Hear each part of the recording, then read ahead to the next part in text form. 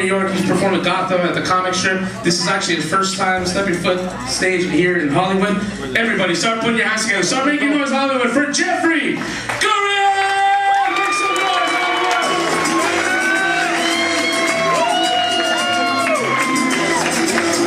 Gurian, let's give yourselves a hand for coming out tonight. The most important people here. We tried this once without an audience. It fucking sucked.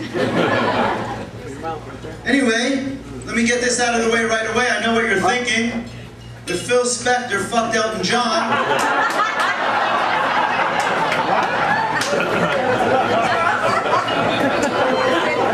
which could actually happen, you know.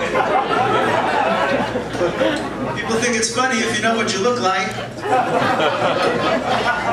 Really want to know what you look like, ask somebody else to describe you. But if you really want to know what you look like, ask a little kid to describe you. Trust me, you want to fucking kill yourself.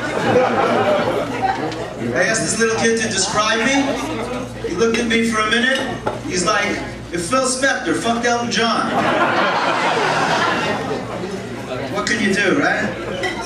Anyway, feels good to be back on stage again because I had gone back to my original job for a while, writing suicide notes for depressed people with writer's block. Yeah, then when I get bored, lately just for fun, I've been going into Chinese restaurants. I ask for the manager, and I complain that my fortune didn't come true. Goes over big, especially when I ask for a refund. Chinese people take that fortune shit very seriously. Now, Chinese is an interesting language, by the way. Not particularly sexy or romantic. Sometimes you'll hear a woman say they like a guy with a uh, Spanish accent, uh, an Italian accent, a French accent maybe. You'll never hear a woman say, when I hear him speak to me in that Chinese accent, I can't control myself. I get moist. That Chinese accent. I had a Chinese girlfriend for a while, and when she spoke to other Chinese people, it always sounded like she was yelling. I'm like, take it easy, it's just Chinese. You don't have to get that excited about it. No, uh, there's a language that could use some silent letters. When I was a kid, I had a friend whose name was all silent letters. Every time he didn't hear anything, he thought somebody was calling him. He spent his entire childhood running home to see what his mother wanted. So anyway, don't you hate it when you wake up in the morning and you're really in the mood to vote and there's no election? What do you do in a case like that? How do you take away that urge to cast a ballot? It's very confusing, right? It's like that night when you're supposed to turn your clocks ahead an hour at 2 a.m.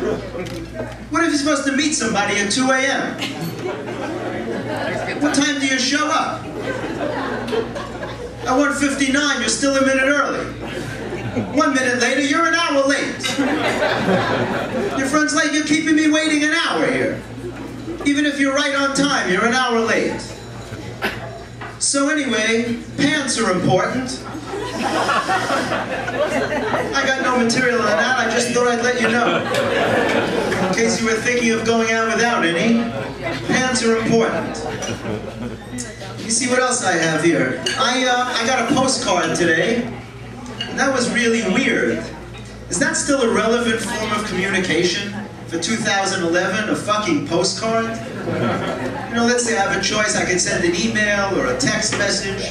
And I think I'll send a postcard. You know? When's the last time you got an important postcard? You never see a guy running home, you're like, where you going? I just got this postcard from my girlfriend and I can't wait to read it. well, fucking turn it over, man. It's all right there. It's not even in an envelope. I think that's why they never send government secrets on a postcard. You know, everyone read it. And postcards are mean anyway, you know? Most of the time, the only thing they say is, wish you were here. If you wish I was here, the next time fucking invite me. Don't send a postcard, you know, I could do without it. So, uh, piercings are very big these days. Anybody here have any piercings that they will admit to? A lot of girls get piercings, you know? I can't really see if anyone raised their hand, but a lot of girls get piercings. A lot of girls get their tongue pierced. They say it increases the pleasure of oral sex for men. I don't know about you, but I never remember thinking, gee, that feels great. If only she had a metal ball in her tongue.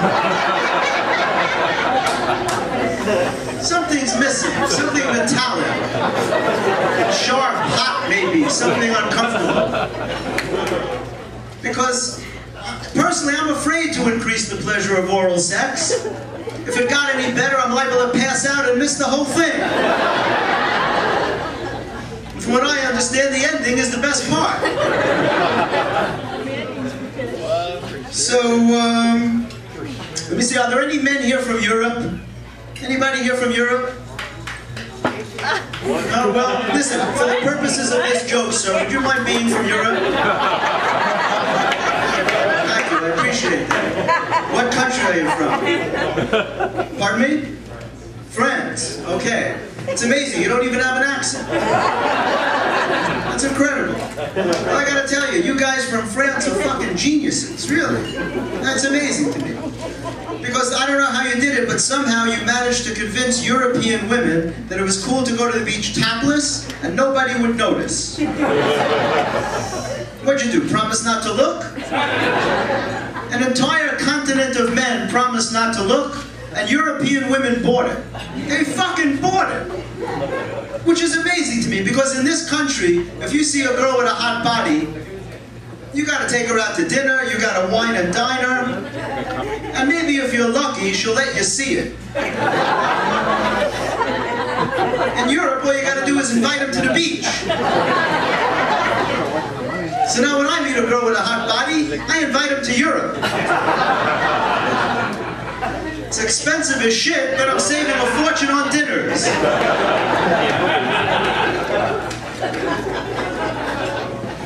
You see what else I have you might hate. Um, you know, people say that chivalry is dead. Yes, it is. And by people, I basically mean women. Because you'll never hear a guy say that chivalry is dead. What would be the point, right? Now, chivalry started somewhere in the 1600s, and it seemed to have something to do with men throwing their coat in the mud for a woman to step on. I'm like, really? Who came up with that bright idea? Dry cleaners? How would that even work? What, were coats made of wood in those days? You throw magically turns into a ramp? The chip just glides over the puddle? I mean, coats must have been very plentiful in those days. I think that's when the disposable coat business really kicked in in this country. Picture this scenario. It's the 1600s. You're walking with this chick, it starts to rain, you come up against the puddle, she starts looking at you, she's looking at your coat. You're like, hey, I just got this coat. It's a brand new coat. Call me a knave if thou willst. Let me repeat that for you. Call me a knave if thou willst. But I don't think I'm going to throw it in the mud.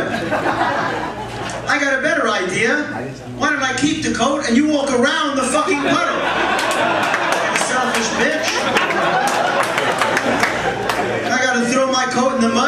some chick I'm polite?